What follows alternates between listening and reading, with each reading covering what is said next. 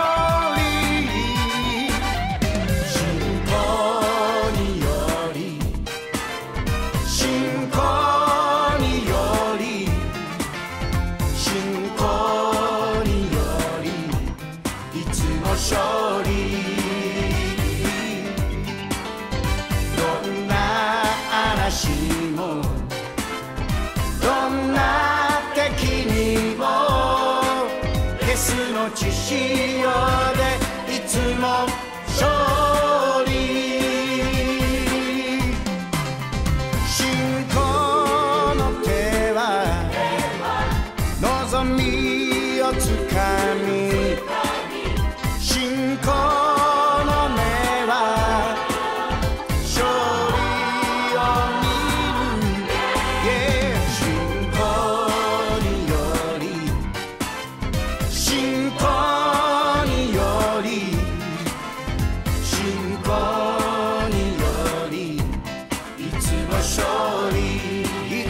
つ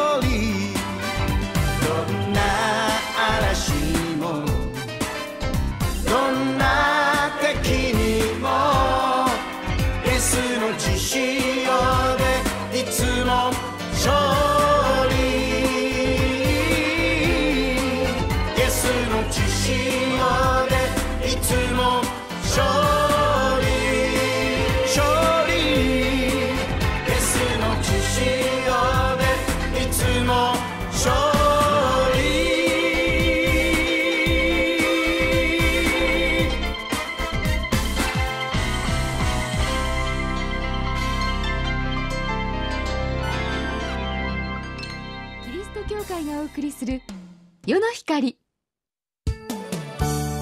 世の光の時間です。いかがお過ごしでしょうか。鳩ヶ谷福音住教会牧師の大島重則です。私の担当集ではルカ福音書を順番に読んでいます。ルカ5章でイエス様は私が来たのは正しい人を招くためではなく罪人を招いて悔い改めさせるためですと言われこの当時差別を受けて嫌われていた酒税人レビーをご自分の弟子とされました。酒税人レビは嬉しくって、仲間の酒税人たちとイエス様をお迎えして大盤振る舞いの大宴会をしたのです。イエス様も弟子たちもその感謝のお祝いの席で一緒に食べたり飲んだり楽しそうに食事をされました。しかしそれを当時の宗教指導者のパリサイ派の人たちが批判したんですね。罪人が悔い改めた後の信仰はそれでいいのかと。自分の罪に悲しんでいる者が宴会でごちそうを食べてお酒を飲んだりできるんですかと言ったわけです。例えば子供が親に叱られて泣いてごめんなさいって言う。そしてそのまま目の前にあるお菓子に手を出そうとしたら、おいおい本当に反省しているのかと親に叱られるでしょう。罪人が悔い改めさせるために来たと言って宴会で食べて飲んでいるのは本当の悔い改めなのか？本当に罪に悔い改めたなら、もっと誠実さを表現するために、むしろ断食をして、祈りに専念するというのが当然じゃないかと考えたのです。彼らパリサイ派は週に2度月曜と木曜日に断食をしていました。そういう信仰生活を送っていたのです。信仰に熱心なものであれば食べ物をむしろ断つのが当然なんだと。それをイエスよ、あなたは教師として教えるべきだろう。それが彼らの信仰の指導方法でした。あなたとご飯を食べているこの酒税人は悔い改めたんでしょ？今までのことを悪かったとお詫びしたんでしょ？お詫びをしているならどうして涙を流して、今までのことを悪かったと言って断食しないのか？食の一つも立ってお詫びのお祈りをするようにさせるのが当たり前でしょう。そんなに愉快に飲み食いすることと罪を認めることが一つになるんですか？それでは不真面目ではないか。そう考えたわけですね。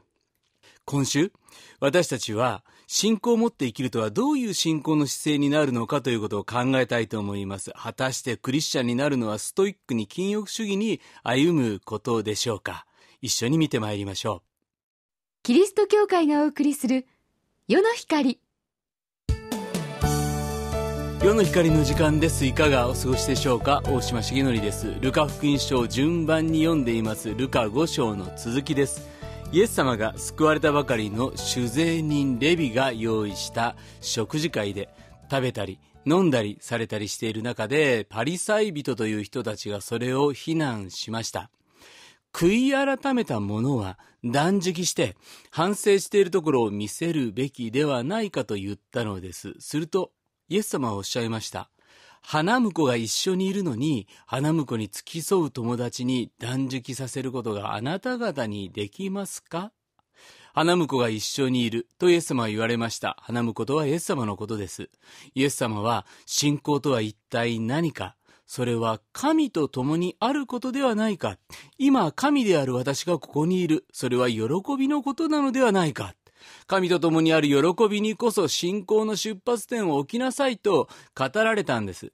神様と共にいるにもかかわらず悲しそうな顔をしろというのがおかしいとおっしゃいました。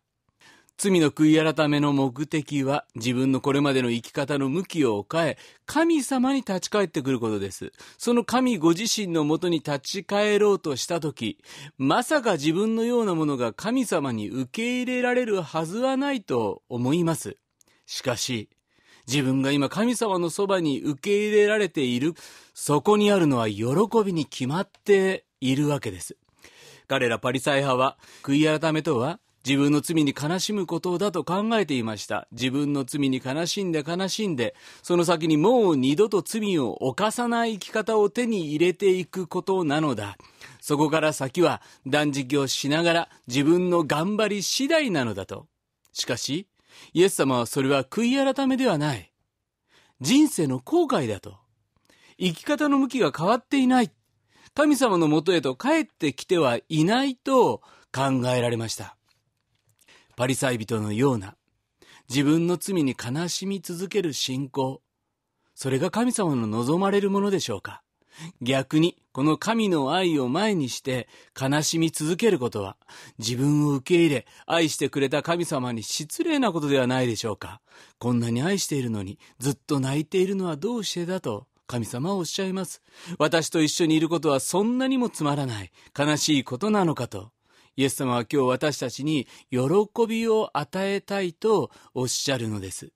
もうあなたは自分の罪に悲しみ続けなくてよい。私といることを何よりも一緒に喜ぶものであってほしいとおっしゃるのです。キリスト教会がお送りする世の光。世の光の時間です。いかがお過ごしでしょうか？大島重則です。ルカ福音書順番に読んでいます。主善人レビの用意した宴会を一緒に楽しんでおられたイエス様に断食もしないそんな信仰のスタイルで良いのかと立法学者たちはイエス様を批判しました。彼らは悔い改めた者たちは自分の罪に悲しんで、罪を悔い改め続けその証として祈りと断食に励むべきではないかと考えていたのです。しかし、パリサイ人のように自分の罪に悲しみ、罪と戦い、もし私たちが罪からの勝利ができるのだとしたら、その先に待っているのは、どのような信仰のスタイルになるでしょうか？必ずその人は、罪に勝利できない人を裁くようになります。罪を犯している人とは距離を取るようになります。その人を愛することをやめる罪を犯すようになるのです。そして、ふとした時に、再び自分がまたその罪を犯してしまった時に、ああ、もう自分は同じ罪ばかりを犯して神様には許されないと、神様から離れていくしか行く道はありません。あるいは、そんな罪など犯してもいないと、自分の罪を隠して生きていく偽善者として生きるよりほか道はありません。しかしイエス様は、あなたがその罪に自分で勝利できないからこそ私があなたのもとに来たのではないかとおっしゃるのです。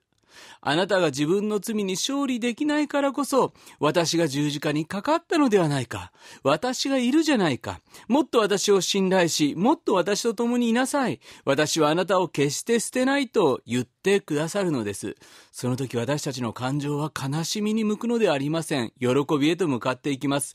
神様からいただける安心が生まれます。イエス様の教えられた悔い改めとは、自分の力で罪に悲しんで手に入れる罪に勝つ人生ではありません。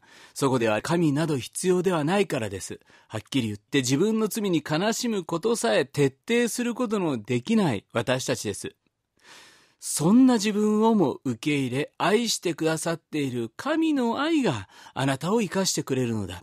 この愛に取り囲まれ、この愛に応えたいと思うときに、罪からの解放が本当の意味であるのだ。してはならないで自分を縛り付け、人のことも縛り付けるのをやめなさいとイエス様はおっしゃいます。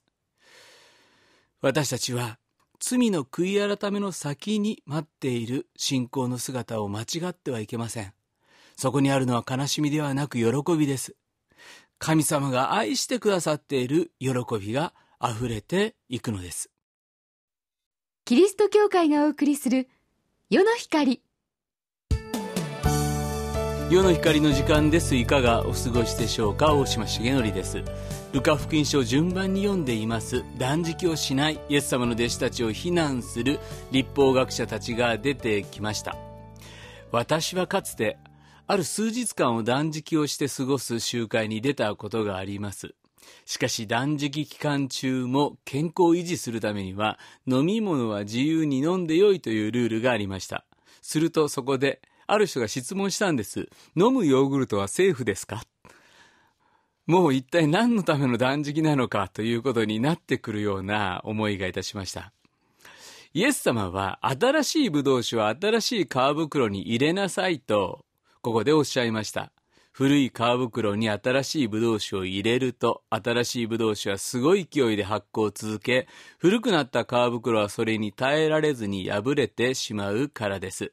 ここで言う新しい皮袋とは、イエス様のもたらされた福音の恵みです。それに対して、古い皮袋とは人間の頑張りの信仰です。苦行を自分に課して、それによって自己満足を得て、人から評価され、信仰的満足を得ていく信仰のスタイルです。人から良いクリスチャンという評価を得たいという古い皮袋があるでしょう。イエス様は、祈るならば奥まったところで祈りなさいと言われました。自分が祈っている姿を見せつけて、断食している姿を見せつけて、自分を誇るようなことはやめなさいと言われたのです。今日ラジオをお聞きの皆さんが信仰を持つことはパリサイ派のような堅苦しい信仰、自力で頑張っていく信仰、高慢で人を見下しているような信仰をイメージされているならば一体その原因は何でしょうか？それはイエス様のもたらされた信仰のスタイルではありません。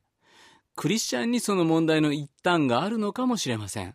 確かに、そういう古い信仰の生活の方が分かりやすいからです。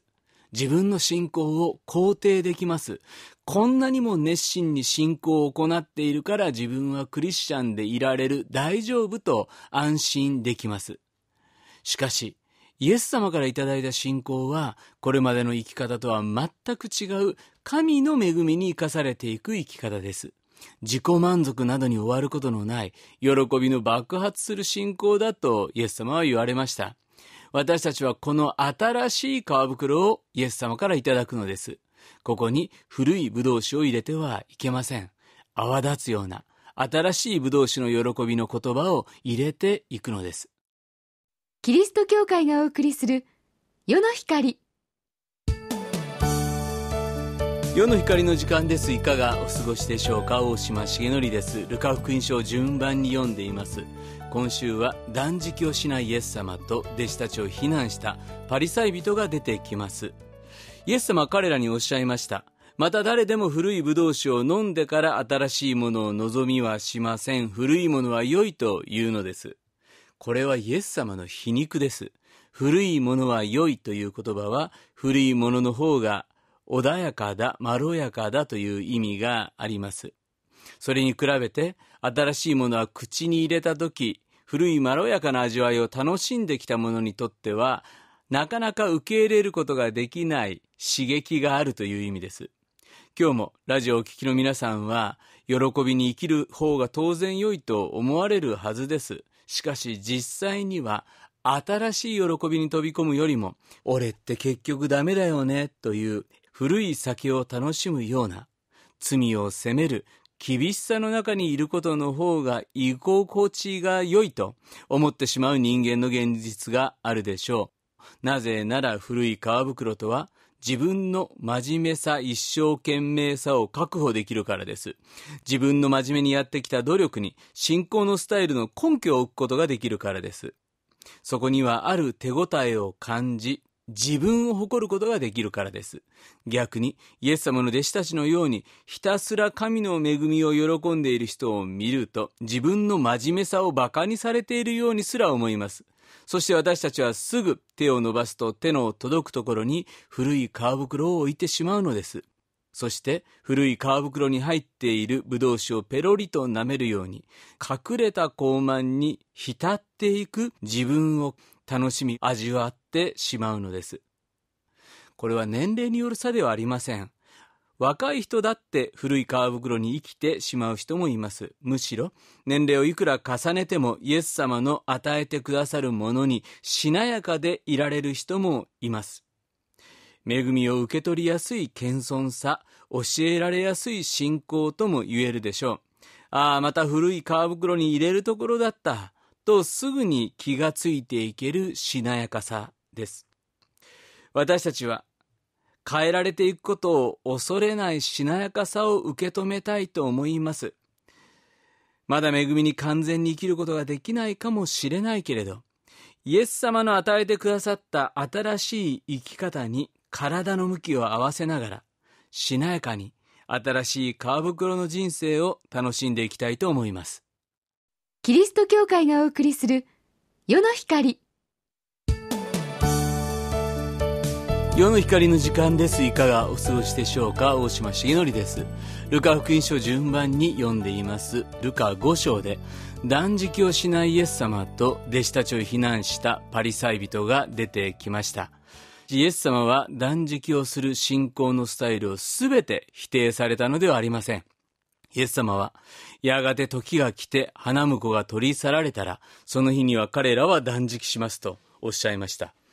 やがて来る花婿が取り去られる時というのが、イエス様が十字架にかかられる時のことです。十字架において、徹底的な悲しみがこの地上に訪れました。決定的な悲しみをこの世界は経験したのです。その意味で、キリスト教信仰において悲しみが軽んじられるわけではありません。受難週、灰の水曜日と呼ばれる時に、キリスト教会は自分の罪の悲しみの中を過ごします。しかしその悲しみは永遠に続く悲しみではありませんでした。十字架の3日の後、イエス様の復活を迎えた時、イエス様は再び弟子たちに現れてくださいました。そして朝食を用意してくださったのです。